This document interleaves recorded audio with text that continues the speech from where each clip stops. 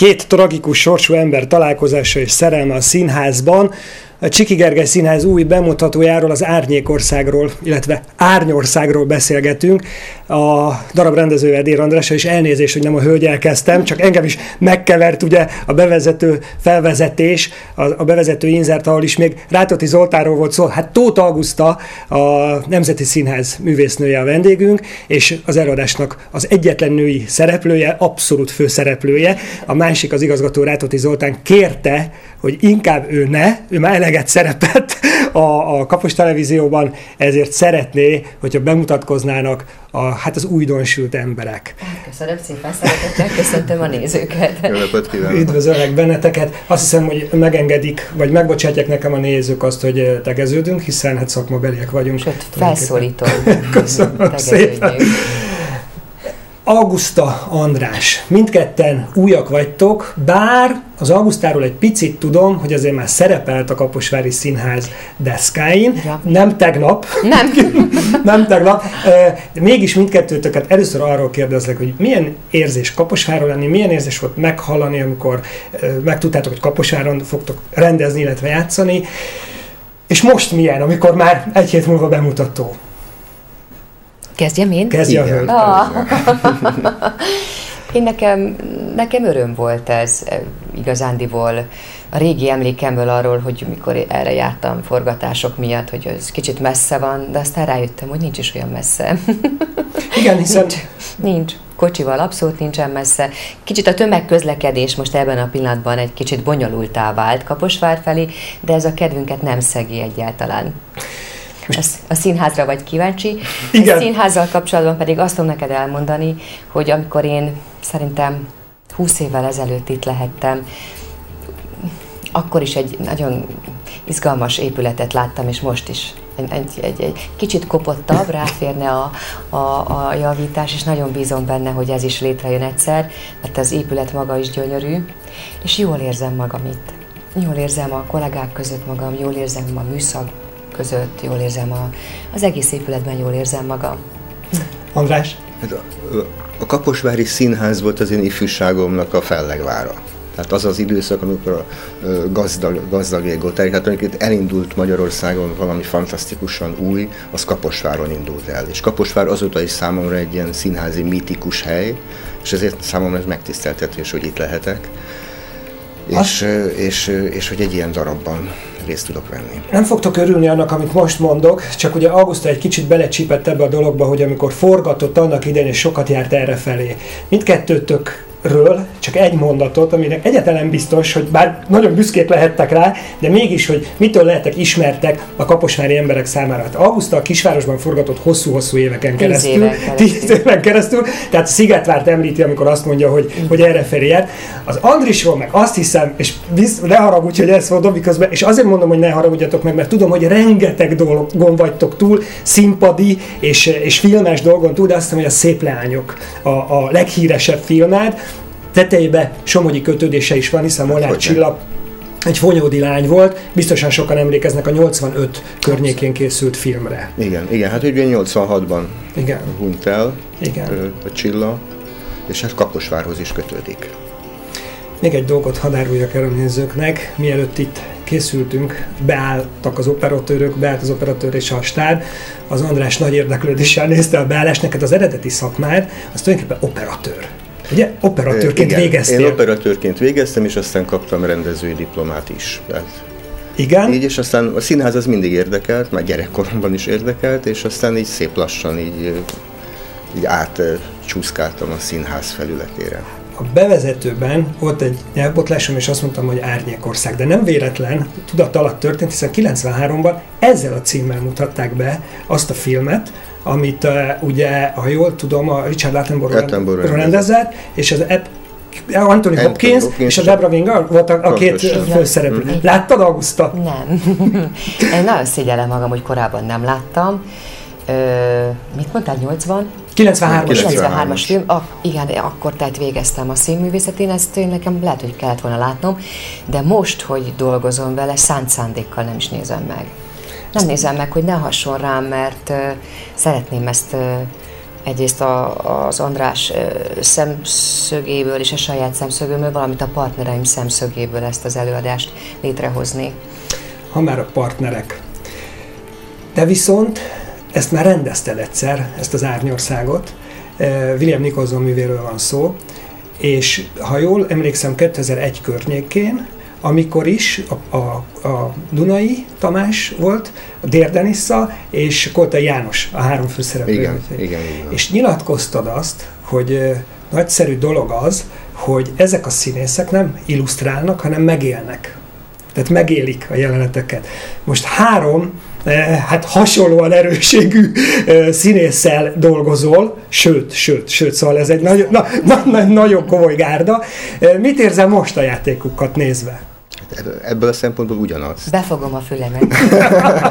Még a premier előtt. Ebből a szempontból abszolút ugyanaz, tehát az nagyon-nagyon biztató számomra, hogy Augusta is, Zoli is nem szerepet játszanak. Tehát nem azt keresik, hogy mik a színészi kifejezési eszköznek a, a gesztus, külsőséges gesztusrendszerű, hanem bel, belülről keresik, kapcsolatot keresnek a figurák között. Ezért nem is fog hasonlítani a két előadás egymáshoz.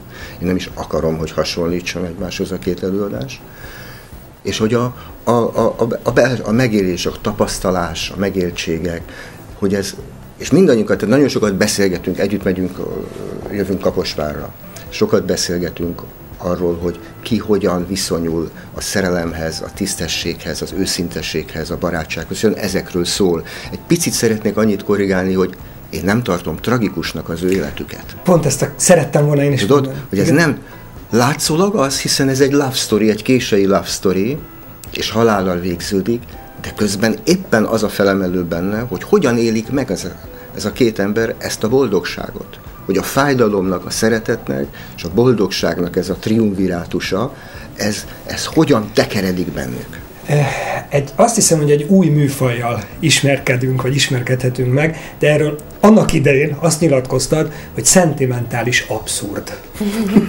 és nekem annyira tetszik ez a megfogalmazás, és a, az Augusta játékán is, és a Zoltán játékán is, de a Hunyáin is, ezek a jegyek nagyon erősen eh, érzékelhetőek tényleg egy annyira finom dolog, eleve stúdióban rendkívül finom dolog játszani, hiszen tényleg jeleket adunk, és tulajdonképpen kapunk is a nézőktől folyamatosan, és annyira finom ez az angol humor, de közben tényleg ott a mélyén meg, meg hát csomó minden van. Augusta, milyen érzés ezt játszani? Egyrészt tehát mondom, hogy, hogy hogyan készül, hogy épül föl ez a lelkedben, egyrészt ezt akarom, másrészt meg az Olival való kapcsolatod, a, a, hogy milyen, mint partnerek a kaposári színész. Akkor először az Olival való Igen.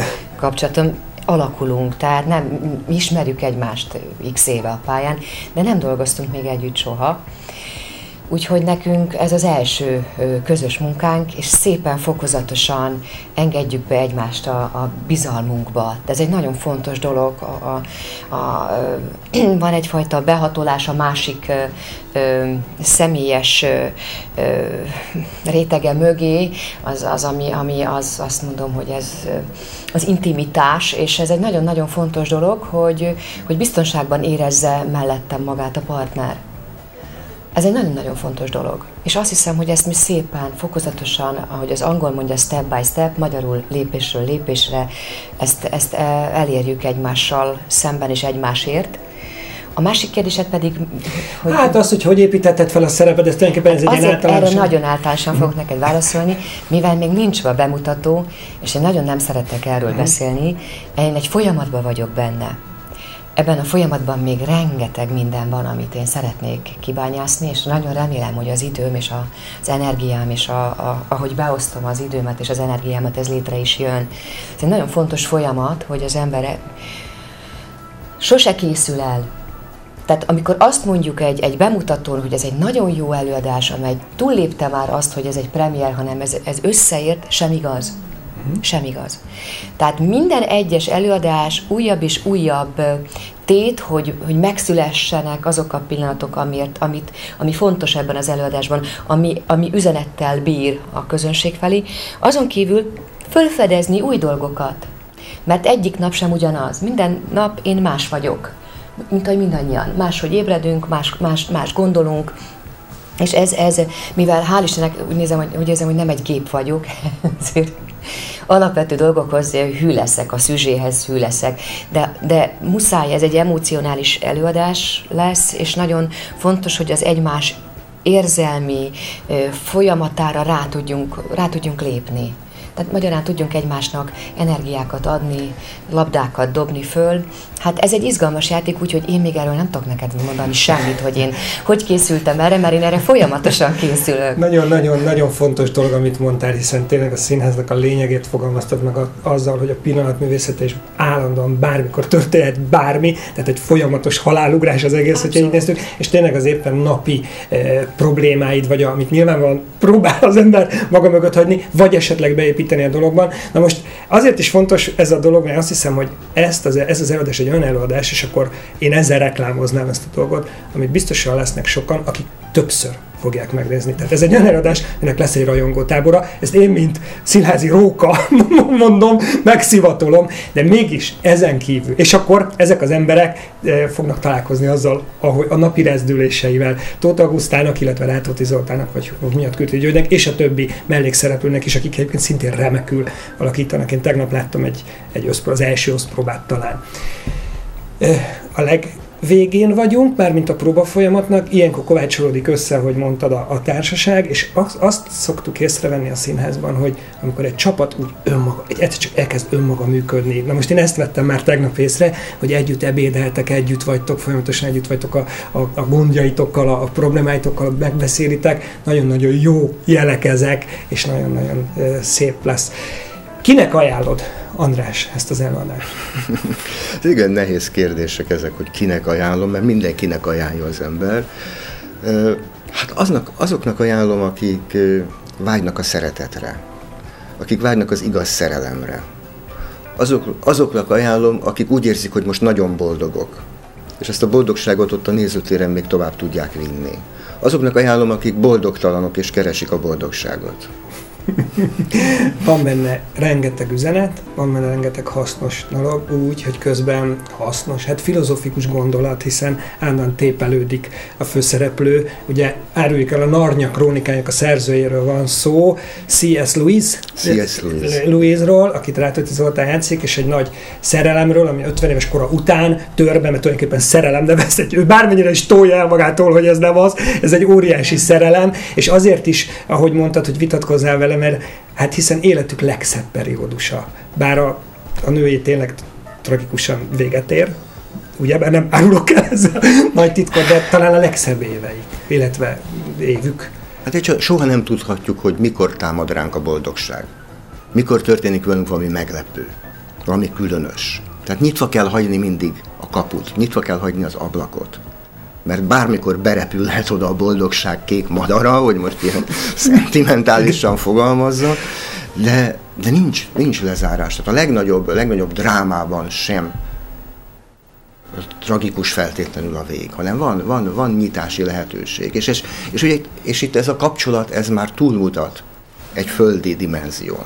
Tehát ebbe belép egy transzcendencia. És, és ettől izgalmas, és ettől válik nyitottá és, és perspektívikussá és végtelenné ez a, ez a drámai szituáció. Még egy dolgot azért hadd mondjak erről reklámgyanánt. Én azt hiszem, hogy ez az az előadás, ahol a kaposvári hölgyek tömegesen fogják elvonszolni a férjüket. Hogy tessék, ezt nézd meg, van még ilyen, létezik ilyen, és ők pedig a végén ugyanolyan boldogok lesznek, mint a feleségeik. Én ezt gondolom, és ezt kívánom nektek. Mondjad, Augusta. Igazándiból én egyetlen dolgot szerényen hozzáfűznék ehhez, hogy azokat a nézőket is várjuk, akik olyan földolgozatlan fájdalommal kell, hogy együtt éljenek, mint egy szeretteik hozzátartozóik elvesztése talán utat mutat ahhoz, hogy hogyan kell, vagy hogyan, hogyan, hogy nem kell, ez nem jó szó, hogy hogyan lehet ezt másképp is megélni. Tehát, hogy amit, amit az András is mondott, hogy egy ilyen transzcendentális, tehát a, a, az, hogy, hogy hogyan, hogyan lehet ezt tudatosan úgy irányítani, hogy az, az hogy ne csak úgy valahogy el legyen az ember, hanem hogy ez legyen jobb is. Ez benne van egyébként a darabban, hogy szerintem lehet, hogy, hogy ez nem csak úgy, hanem ez lehet jobban is. Jobban is lehet ezt megélni, átélni. Bizt, hiszen nap mint nap tudjuk, hogy az életben születünk és elmegyünk. Tehát nap mint nap, valószínűleg minden percben van egy megszületés, és van egy elmenetel. És ezen a darabon belül megszületik egy szerelem, és kérdés, hogy ez a szerelem, ez, ez nem fog elmenni. Fizikálisan el fog menni, el fog múlni valaki ebben a darabban, de valójában a szerelem az megmarad, a szeretet, a szeretet örök. A szeretet az, ami folyamatosan létezik, de ez tőlünk függ. Emberektől ezt nekünk kell táplálni. Ez, ez belülünk indul ki. Nemzeti Színházal közös produkció. Én kívánok nektek nagyon-nagyon sok előadást, nagyon sok örömöt, nagyon sok ilyen találkozást a nézőkkel, meg a szereppel, és a... Hát is ezzel búcsúzom tőletek, és eh, nagyon örülök, hogy megismerhettek ennyire legalább benneteket, és Köszönjük a nagy örömmel várom a bemutatót. Köszönjük, Köszönjük szépen. szépen.